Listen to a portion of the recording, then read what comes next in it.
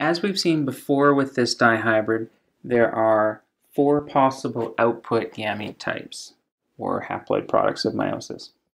There's the two non-recombinant types,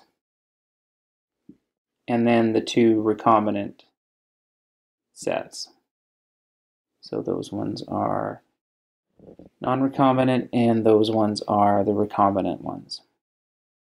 For loci that are linked on the same chromosome, we will see something different than what we saw before. Previously, with loci that were on separate chromosomes and assorting independently, we saw that all the different possible haploid products of meiosis had the same frequency or the same probability. In the case of linkage, physical linkage now on the same chromosome, the recombinant frequency will be less than 50%. It can range up to a, maximum of 50% or be less than 50%. If these two loci are very, very far apart on the same chromosome, they will have a recombination frequency of 50%. So if you see a recombination frequency of 50%, it's formally possible that it could be two loci that are far apart on the same chromosome, or it could be more likely that they are independently assorting on separate chromosomes. But there might be other data in the question that you're working on that'll help you sort out between those two possibilities. The way that we estimate physical distance between two loci is simply to use recombination frequency. Let's say, for example, that each of these recombinant products of meiosis had a frequency of 5% or decimal 0.5. That would mean that each of these would have probability of 0.45 each, and this would all add to 1. Now, it should be obvious that these two products of meiosis should have the same frequency. It's the exact same physical event that produces both at the same time. A crossover, as we saw in the last segment, a crossover between the loci produces big A, big B products of meiosis at the same time it produces little a, little b products of meiosis. And the same events that produce these, this haploid product of meiosis also produces this one at the same time. So a way to work out the different probabilities of the products of meiosis is if you can figure out one of them, it means you can infer the rest. If you can figure out the probability of one of the recombinant gametes, then you know the other recombinant has the same value. And then you know that the other non-recombinants simultaneously have to have the same value and the whole thing has to add up to 1. So this allows you to infer the probability of all the different products of meiosis if you can find out the probability of just one of them. So in this case, what we're seeing is the recombination frequency is actually 10%. Because the two recombinant gametes, two recombinant products of meiosis add up to 10% of the total. So we said that the recombination frequency was the number of recombinants out of the total. So in this case, it comes out to decimal 0.5 plus decimal 0.5 out of a total of 1 or 0.10 or 10%. Or we would say, and here's the proxy for physical distance, we would say that this is 10 map units. Map units is a somewhat arbitrary unit of measurement. It's a physical distance, it, well, it masquerades as a physical distance, when in fact it's simply a way to represent recombination frequency.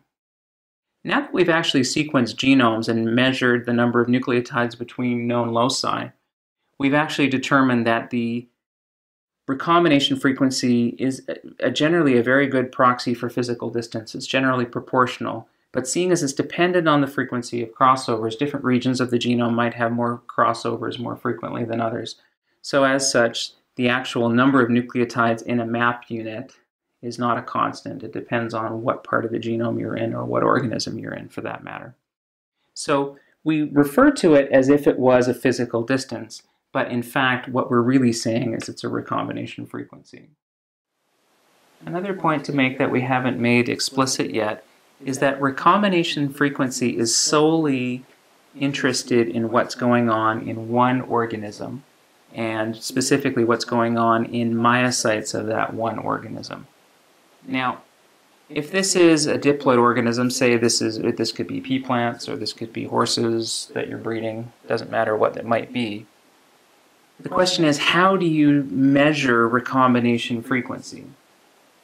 And the way you measure recombination frequency is you need some means of measuring the frequency of at least one of these output gamete types. Now the easiest way to do that is to use a test cross. A test cross would simply take this organism, that's a dihybrid, and cross it to something that is homozygous recessive for all the different loci involved. So what this would mean is we would effectively have a Punnett square, if we wanted to draw it out, where the only contribution possible from this parent, the tester, would be the little a, little b gamete. This will not contribute to the phenotype, as we've mentioned. The only thing that will contribute to the phenotype is whatever is coming out of the dihybrid. So we would actually be able to measure the frequency of each of these different offspring categories. And now I'm drawing up the genotypes of the offsprings where we cross this organism now with this organism. Here's the possible output gametes from this organism. Here's the one possible output gamete from this organism. And now we'll write the different genotypes of the progeny, except I'm going to write them with this type of setup to show the different inputs.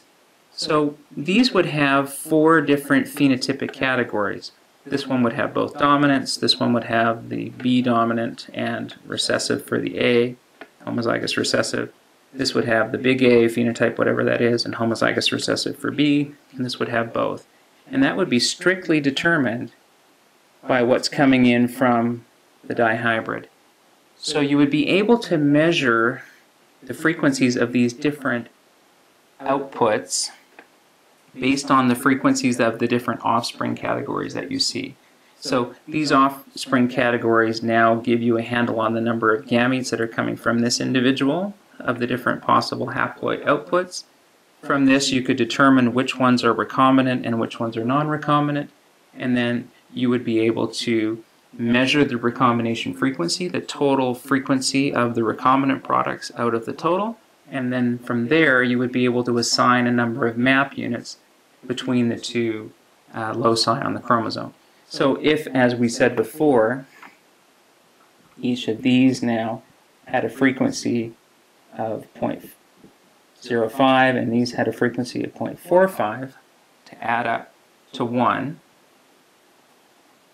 we would be able to see, we would be able to infer these frequencies from the frequencies of the progenies with these genotypes.